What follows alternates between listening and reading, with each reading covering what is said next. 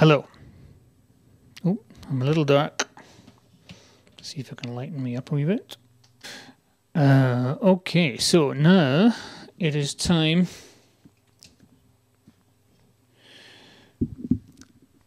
to prepare for the dub.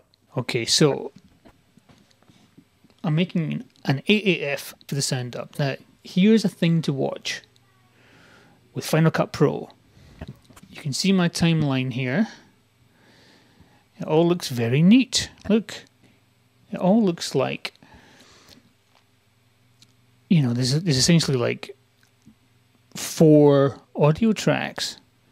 However, each one of these has potentially eight different elements of audio.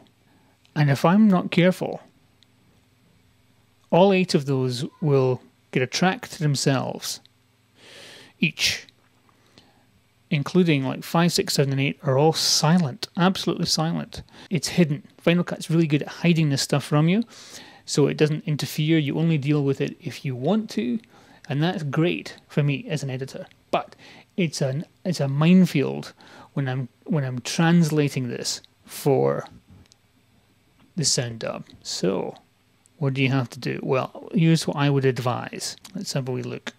Boink.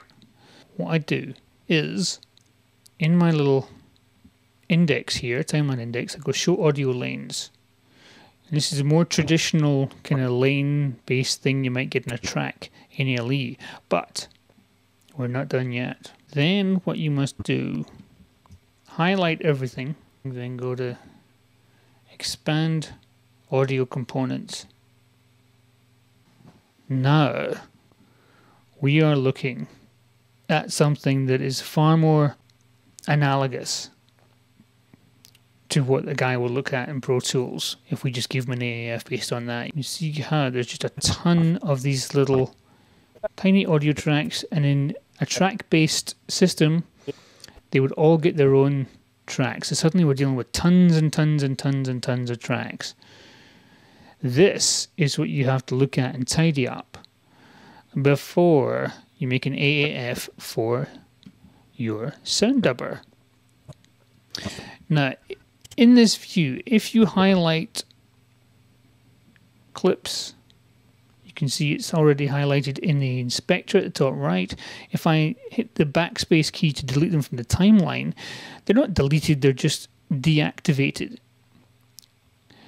And that's essentially what I want to do. You can either do that or opposite way about up here and just deactivate them. All these silent channels don't need to go anywhere and you can see as I deactivate them they vanish from the timeline.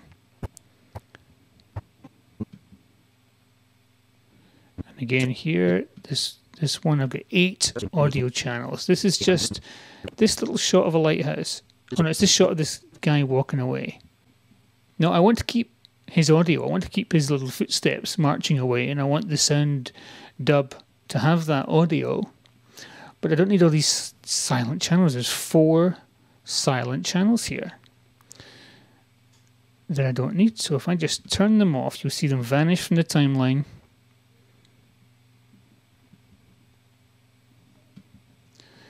And it all starts to look slightly tidier. So I'm just going to go through and I can just see from the waveforms which of these have audio and which don't. And I can just delete from here. Like I say, I'm, don't worry, I'm not deleting anything. I hate deleting stuff. I'm just deactivating it. And then when I export my AAF, I specify that I do not want to include deactivated audio channels.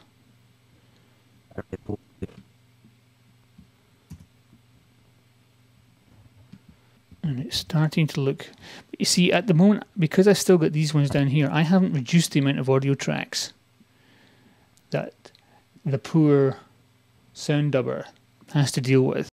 The most we're ever getting here is two channels two clips with four channels each. It should be eight channels of audio.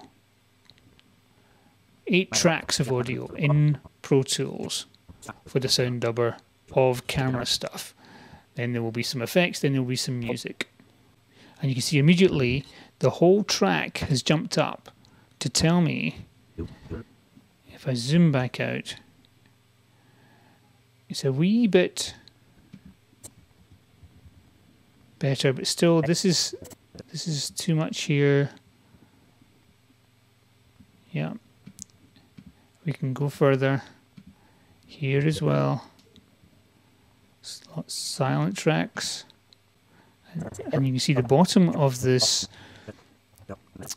audio kind of lane hasn't moved because something else is, yeah, this one, these two in fact. Get rid of that. This hasn't jumped up because there's still something holding it back. I don't think I can do anything about these. I want, so I think this is about as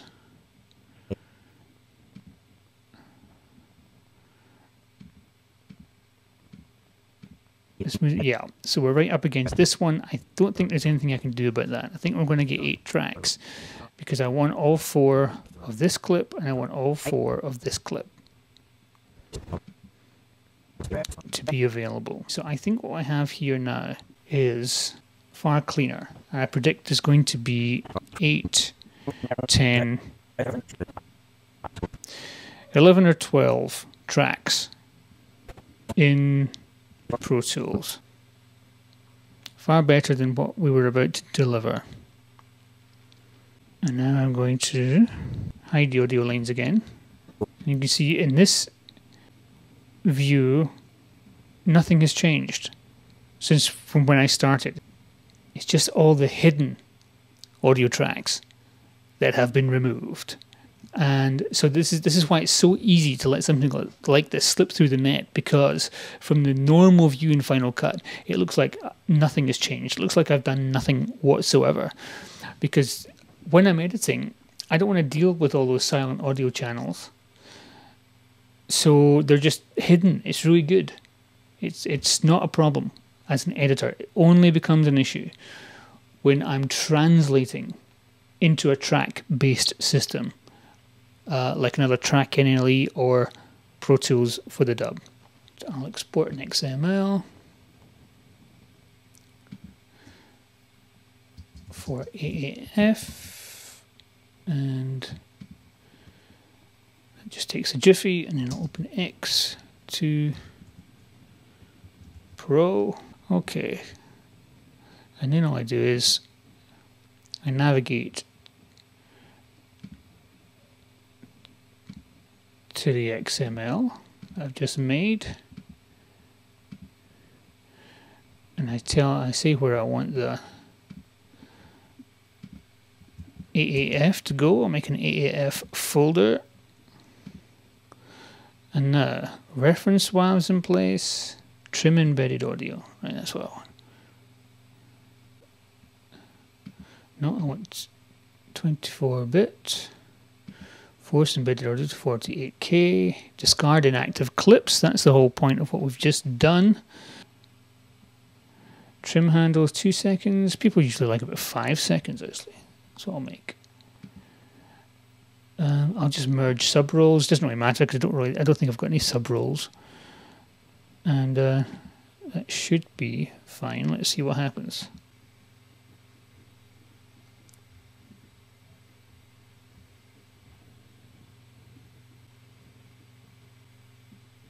So what we're seeing here is some of the loudness adjustments aren't supported in the AAF, which is fine because the dubbing mixer will do that themselves. Let's see how big this AAF is. Less than 2 gig. So I'm just going to upload that. There we go. So uploading that I'll pop it off, check the guy is happy, for it is a guy in this instance, and uh, we'll get ourselves a sound dub.